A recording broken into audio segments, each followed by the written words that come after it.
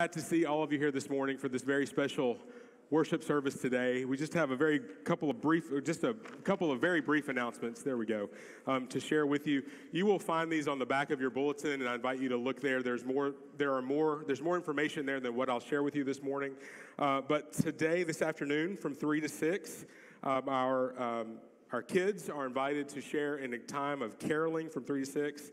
Um, they'll meet here and they'll go around the community to um, share that with folks in our community who might not be able to get out of their homes or um, in long term care facilities. And also tonight at 6 o'clock in our Wesley Chapel, we'll be holding our longest night service, which is a chance for us to gather together um, with those who might be dealing with difficult issues, grief, um, loss, other things that might um, be on their hearts uh, for a time of contemplation and singing and prayer. It's a wonderful, meaningful worship service, uh, and you're all invited to be a part of that. And last, last announcement our youth Christmas party will be this afternoon, too. So um, if you're involved with that, hope that you'll be there, too. So, um, again, thank you for being here. We are here today. Um, to sing and worship and to pray together. Um, and in the spirit of that, in the spirit of contemplation and celebration. I have been asked if you would um, hold your applause until the end of the service so that we might maintain that spirit. Um, and so, with that in mind, we do come here to share in the love and grace and peace of Christ. So, the peace of Christ be with you. Would you please stand and greet one another in Christ's love?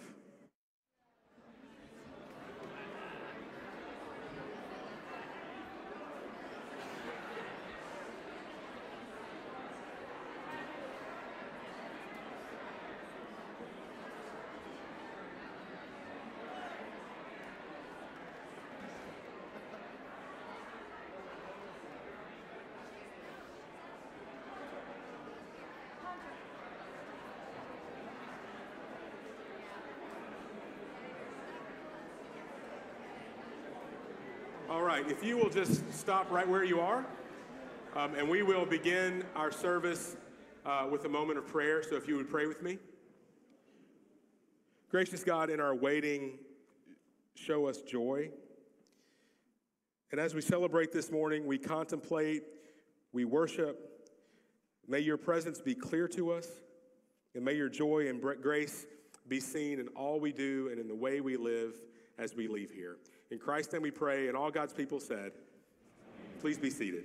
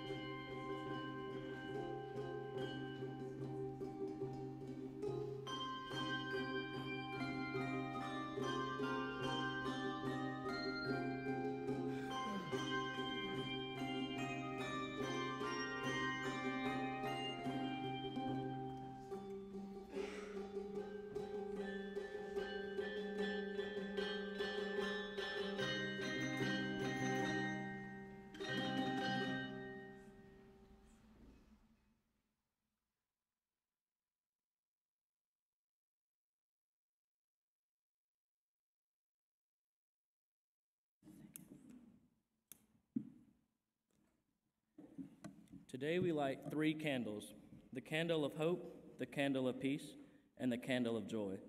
The light of this third candle reminds us that we have no reason to be fearful or anxious because God has sent us a Savior. We should be glad in this affirmation of God's love for us and pledge to serve Him faithfully with joy filled hearts.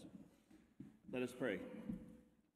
Gracious God, remind us today and every day that we have good reason to be joyful and forgive us for focusing our minds on negative things. Because you sent your Son into the world, we can truly celebrate this season of wonder.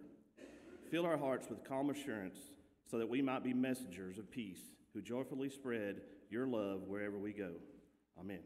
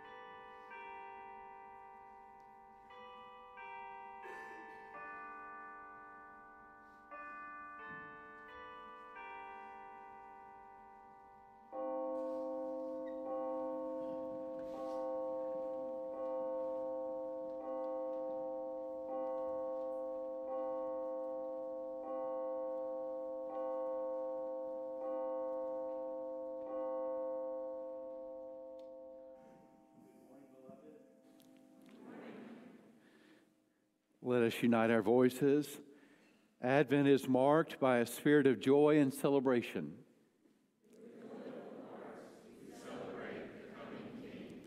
Advent is a time to open our eyes to many blessings.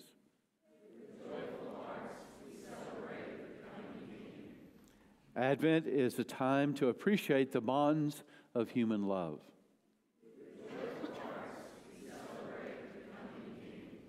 Advent is a time to remember the promises of God.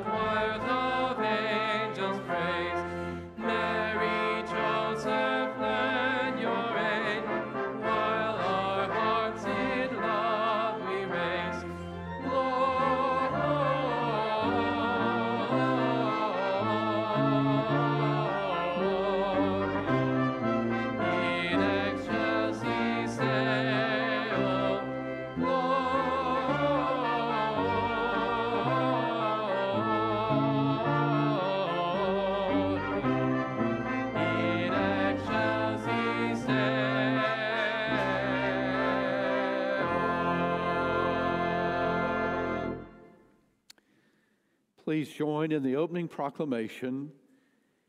In the beginning was the Word, and the Word was with God, and the Word was God.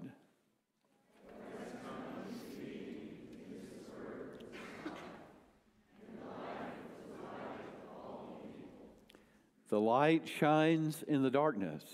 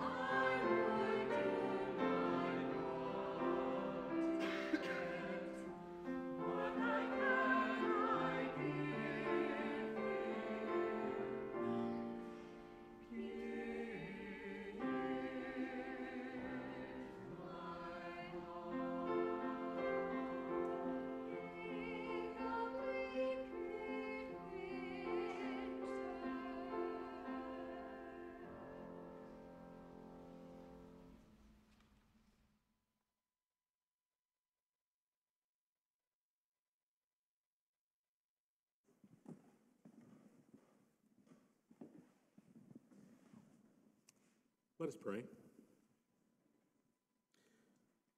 Beloved in Christ, this Christmas season, it is our duty and delight to prepare ourselves to hear again the message of the angels and to go in heart and mind to Bethlehem and see this thing which has come to pass and the babe lying in a manger.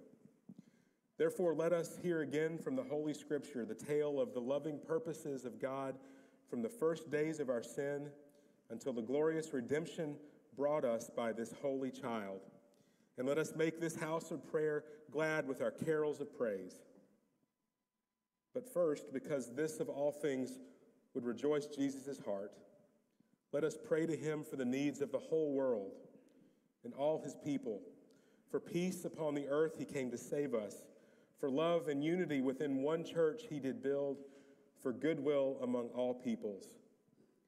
And particularly at this time, let us remember the poor, the cold, the hungry, the oppressed, the sick, and them that mourn, the lonely and the unloved, the aged and the little children, and all who know not the Lord Jesus, or who love him not, or who by sin have grieved his heart and love. Lastly, let us remember all those who rejoice with us, but upon another shore and in a greater light. That multitude which no one can remember, whose hope was in the Word made flesh, and with whom, in this Lord Jesus, we forevermore are one. These prayers and praises let us humbly offer up to the throne of heaven in the words that Christ Himself has taught us Our Father, who art in heaven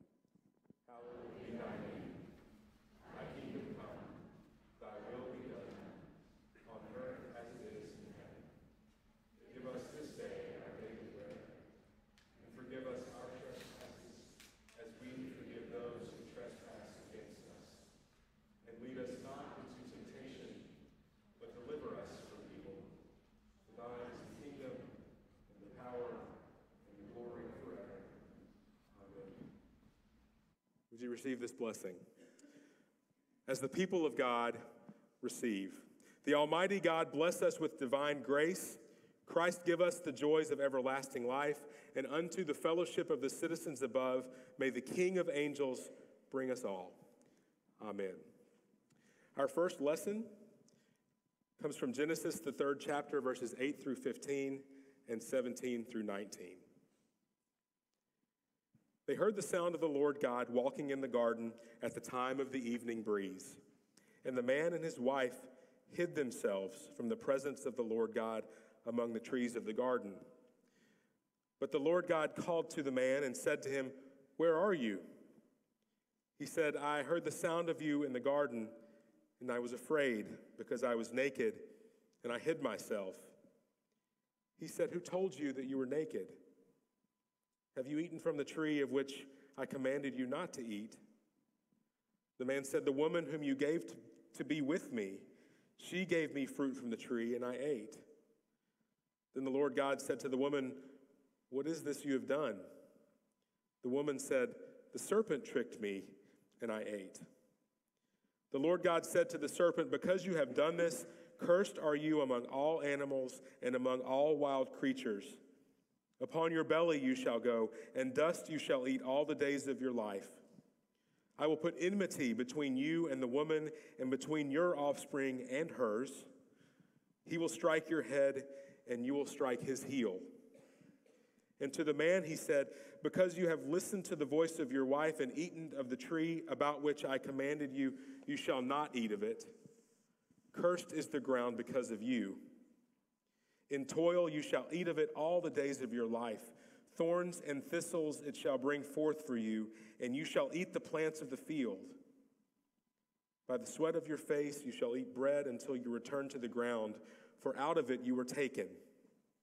You are dust, and to dust you shall return.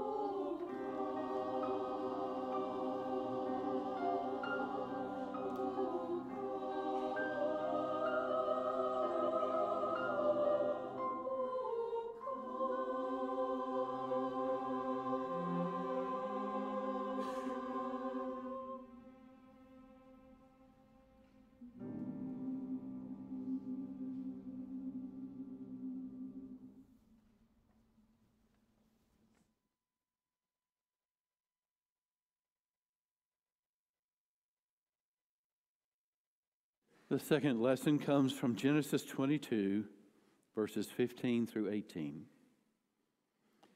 The angel of the Lord called to Abraham a second time from heaven and said, By myself I have sworn, says the Lord, because you have done this and have not withheld your son, your only son, I will indeed bless you, and I will make your offspring as numerous as the stars of heaven and as the sand that is on the seashore. And your offspring shall possess the gate of their enemies, and by your offspring shall all the nations of the earth gain blessing for themselves, because you have obeyed my voice.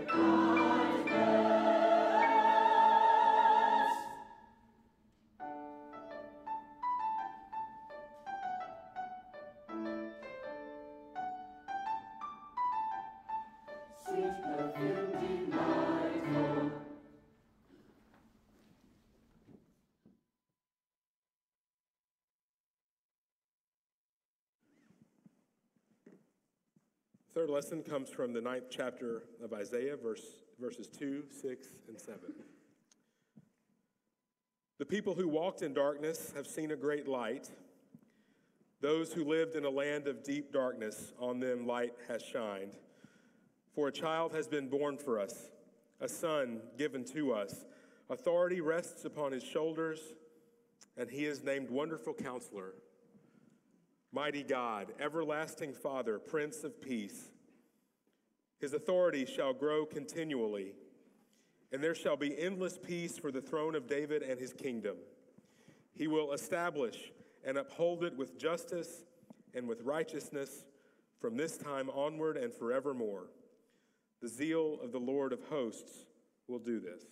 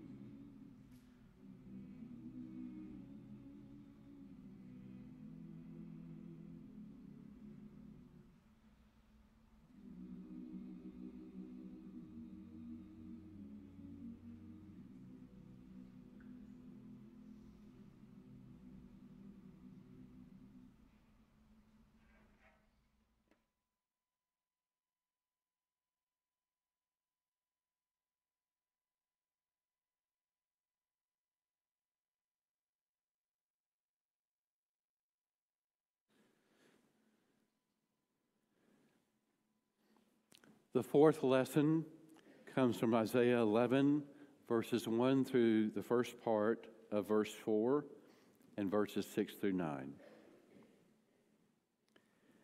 A shoot shall come out from the stump of Jesse, and a branch shall grow out of his roots.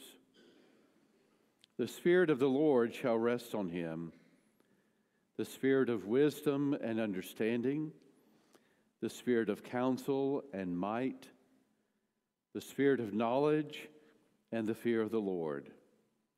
His delight shall be in the fear of the Lord. He shall not judge by what his eyes see, or decide by what his ears hear, but with righteousness he shall judge the poor, and decide with equity for the meek of the earth. He shall strike the earth with the rod of his mouth, and with the breath of his lips he shall kill the wicked. The wolf shall live with the lamb, the leopard shall lie down with the kid, the calf and the lion and the fatling together, and a little child shall lead them. The cow and the bear shall graze their young shall lie down together, and the lion shall eat straw like the ox. The nursing child shall play over the hole of the asp, and the weaned child shall put its hand on the adder's den. They will not hurt or destroy on all my holy mountain, for the earth will be full of the knowledge of the Lord as the waters cover the sea.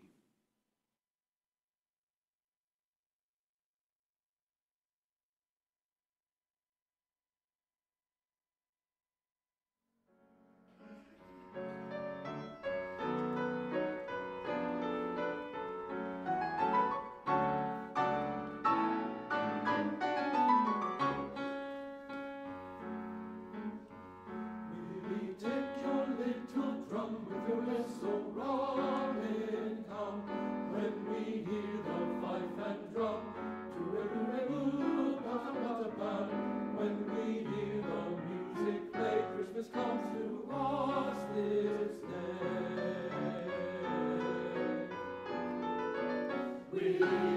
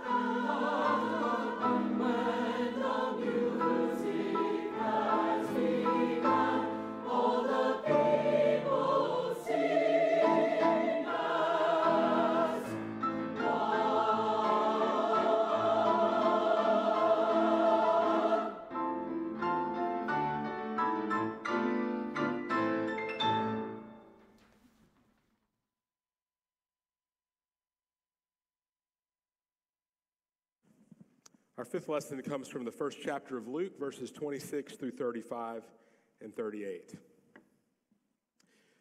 In the sixth month, the angel Gabriel was sent by God to a town in Galilee called Nazareth to a virgin engaged to a man uh, whose name was Joseph of the house of David. The virgin's name was Mary, and he came to her and said, Greetings, favored one, the Lord is with you. But she was much perplexed by his words and pondered what sort of greeting this might be. The angel said to her, Do not be afraid, Mary, for you have found favor with God. And now you will conceive in your womb and bear a son, and you will name him Jesus. He will be great and will be called the Son of the Most High, and the, and the Lord God will give to him the throne of his ancestor David. He will reign over the house of Jacob forever, and of his kingdom there will be no end. Mary said to the angel, How can this be since I am a virgin? The angel said to her, The Holy Spirit will come upon you, and the power of the Most High will overshadow you. Therefore, the child to be born will be holy. He will be called Son of God. Then Mary said, Here am I, the servant of the Lord. Let it be with me according to your word. Then the angel departed from her. The ushers are invited to come forward at this time to receive our tithes and offerings. And will you pray with me? Accept these gifts, O God, that are given today in gratitude for the many blessings that we receive. May we ever be mindful of the gift that was given to us in the form of a baby in a manger. Amen.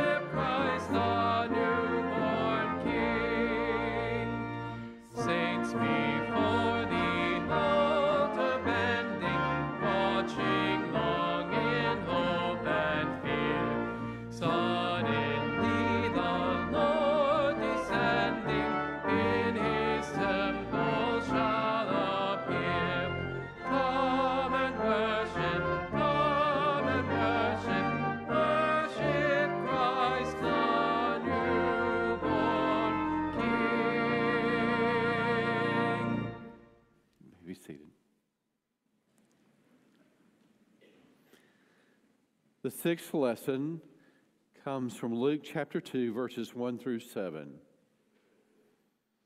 In those days, a decree went out from Emperor Augustus that all the world should be registered. This was the first registration and was taken while Quirinius was governor of Syria.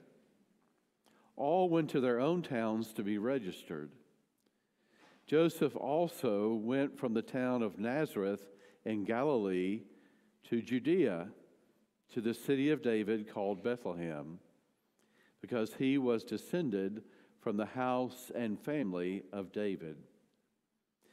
He went to be registered with Mary, to whom he was engaged, and who was expecting a child. While they were there, the time came for her to, to deliver her child. And she gave birth to her firstborn son, and wrapped him in bands of cloth, and laid him in a manger, because there was no place for them in the inn.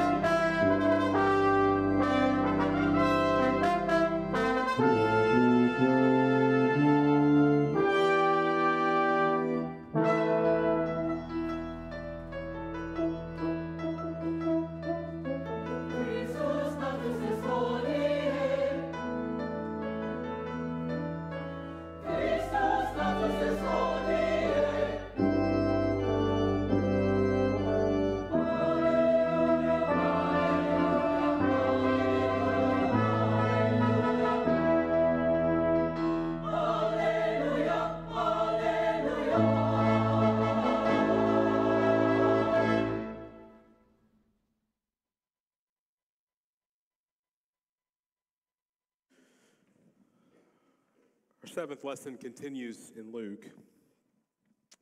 In that region, there were shepherds living in the fields, keeping watch over their flock by night. Then an angel of the Lord stood before them, and the glory of the Lord shone around them, and they were terrified. But the angel said to them, Do not be afraid, for see, I am bringing you good news of great joy for all the people. To you was born this day in the city of David a Savior, who is the Messiah, the Lord. This will be a sign for you. You will find a child wrapped in bands of cloth and lying in a manger. And suddenly there was with the angel a multitude of the heavenly host, praising God and saying, Glory to God in the highest heaven, and on earth peace among those whom he favors. When the angels had left them and gone into heaven, the shepherds said to one another, Let us go now to Bethlehem and see this thing that has taken place, which the Lord has made known to us. So they went with haste and found Mary and Joseph and the child lying in the manger.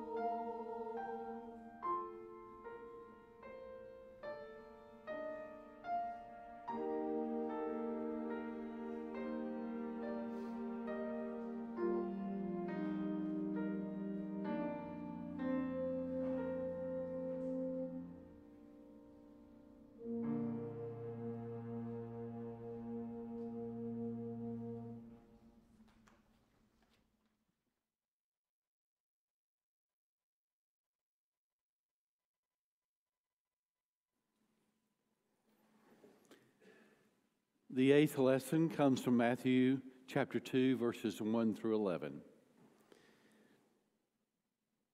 In the time of King Herod, after Jesus was born in Bethlehem of Judea, wise men came from the east to Jerusalem asking, Where is the child who has been born King of the Jews?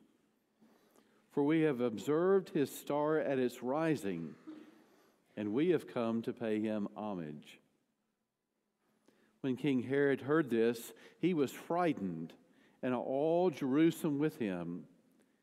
And calling together all the chief priests and scribes of the people, he inquired of them where the Messiah was to be born. They told him in Bethlehem of Judea, for it has been written by the prophet, And you, Bethlehem, in the land of Judah, are by no means least among the rulers of Judah. For from you shall come a ruler who is a shepherd of my people Israel. Then Herod secretly called for the wise men and learned from them the exact time when the star had appeared. Then he sent them to Bethlehem, saying, Go and search diligently for the child, and when you have found him, bring me word, so that I may also go and pay him homage. When they had heard the king, they set out. And there ahead of them went the star that they had seen at its rising until it stopped over the place where the child was. When they saw that the star had stopped, they were overwhelmed with joy. On entering the house, they saw the child with Mary, his mother, and they knelt down and paid him homage. Then, opening their treasure chest, they'd offered him gifts of gold, frankincense, and myrrh.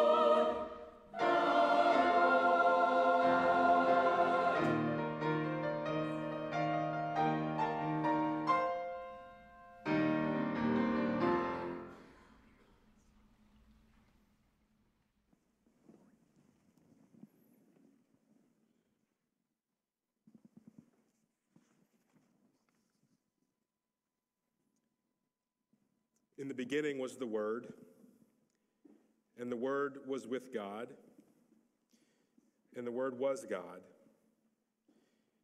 He was in the beginning with God. All things came into being through him, and without him, not one thing came into being. What has come into being in him was life, and the life was the light of all people. The light shines in the darkness, and the darkness did not overcome it. There was a man sent from God whose name was John. He came as a witness to testify to the light so that all might believe through him. He himself was not the light, but he came to testify to the light. The true light, which enlightens everyone, was coming into the world. He was in the world, and the world came into being through him, yet the world did not know him. He came to what was his own, and his own people did not accept him.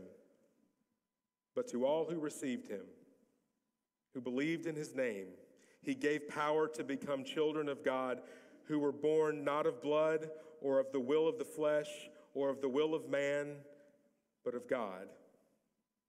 And the Word became flesh and lived among us, and we have seen his glory the glory as of a father's only son, full of grace and truth.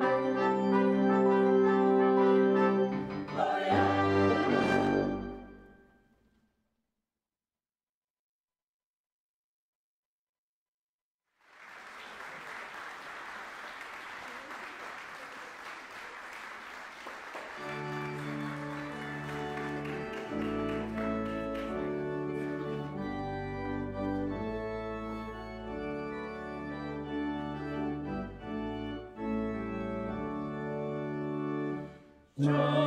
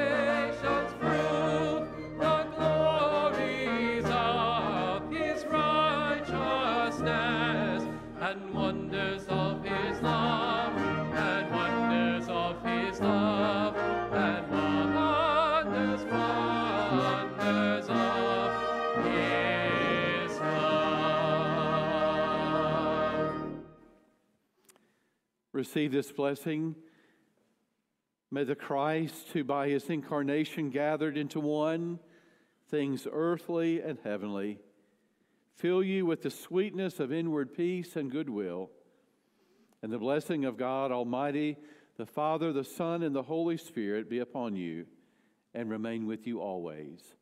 Amen.